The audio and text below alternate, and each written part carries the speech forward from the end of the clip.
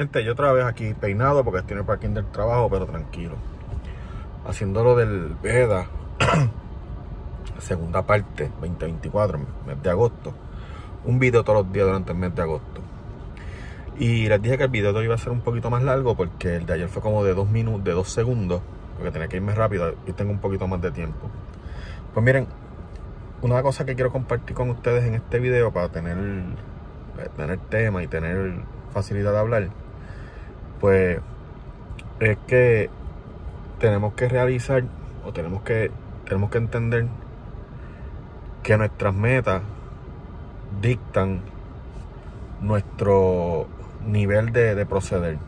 Me voy, a, me voy, a, explicar un poquito porque sé que esto es medio complicado a veces para entender. Porque hay un dicho que dice que el fin justifica los medios o que el fin no justifica los medios. Y hay muchas personas que se pueden ir románticos por ese lado y estar hablando 5 o 6 horas de eso. Yo lo que digo es que no es que el fin justifica los medios sí o no, es que dicta el nivel de pasión que tú le metes a lo que estás haciendo. Porque, por ejemplo, si tú tienes como meta convertirte en el próximo Jack Kirby, crear un universo de cómics y de personajes, y solamente te sientas en tu mesa de dibujo o en tu rinconcito cinco minutos al día, pues eso no va a pasar. Ahora, tampoco significa que si le metes 23 horas de 24 que tiene el día a eso y no lo haces de la forma correcta, te va a funcionar. En fin, hay muchas cosas que tenemos que como que analizar a, la hora de, de decidir cuál es nuestra meta y a dónde queremos llegar.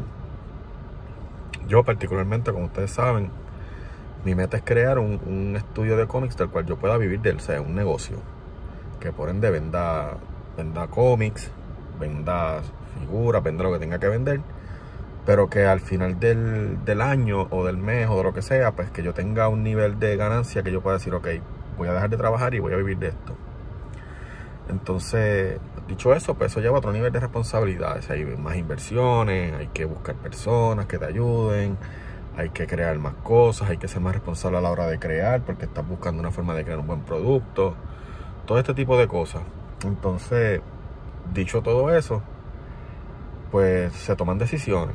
O sea, voy a trabajar X cantidad de tiempo para hacer X, cantidad de dinero e invertirlo en esto, una. Dos, este, voy a gastar los ahorros que tengo para hacer esto, ¿verdad? Tres, voy a buscar auspiciadores. Hay muchas formas de hacerlo. Pero la cuestión es decidir cuál es la forma que a ti te ayuda y a ti te conviene. Entonces, esto es lo que, lo que ha hecho todo mi proceso, por lo menos mi proceso lo ha hecho un poquito más difícil. Porque ha habido mucha experimentación.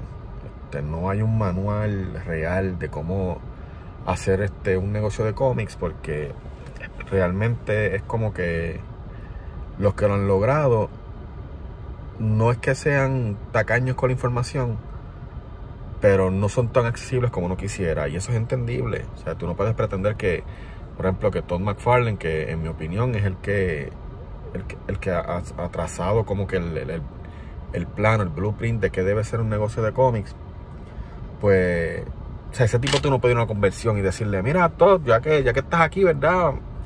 Aclárame unas 235 preguntas que tengo sobre mi negocio de cómics, ¿sabes? Eso no va a pasar. Y como esa gente está tan concentrada en sus cosas, pues no están en las de enseñar, sea, no están en las de voy a escribir un libro, voy a hacer un podcast de cómo lo hice.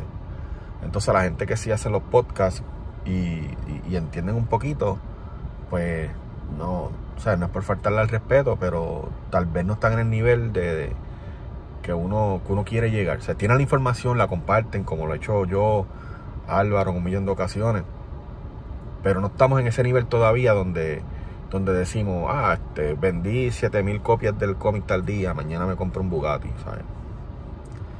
Y, y, es, y, un poquito complicado, pero a la misma vez es súper emocionante porque cada cosa que tú aprendes nueva, tienes la oportunidad de compartirla en videos como, por lo menos en mi caso, en videos como este. ¿Sabes?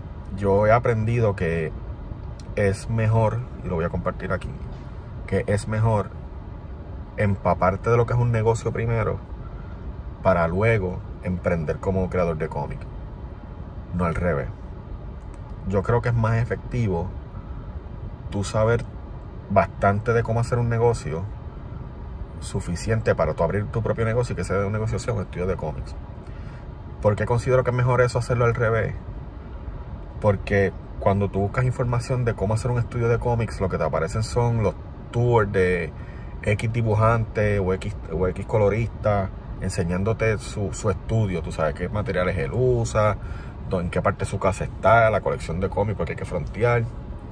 Pero, ¿cómo es el negocio? O sea, ¿cómo yo pago impuestos? ¿Cómo yo puedo comprar el, el código? ¿Cómo yo puedo distribuir? ¿Cómo yo puedo almacenar? ¿A quién yo le digo para imprimir? Eso muy poca gente lo dice y, y atrasa. Pero aunque esa información no está así tan accesible, la del cómic como tal, es más fácil aprender a hacer un cómic que aprender a hacer un negocio.